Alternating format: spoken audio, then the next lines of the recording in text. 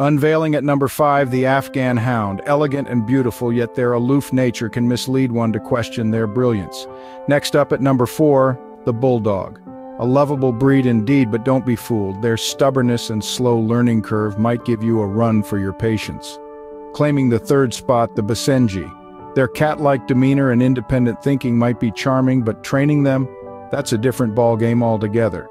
Coming in at the second place, the Chow Chows, adorable and unique, but their aloofness and independent streak might give you a hard time training them. And the crown for the number one spot goes to, drumroll please, the Basset Hounds. Affectionate and lovable, yet they're notorious for being a tad slow and stubborn when it comes to learning new commands. That's a wrap on our top 5 list of the so-called dumbest dog breeds. Enjoyed this content? Remember to subscribe for more pet-related insights.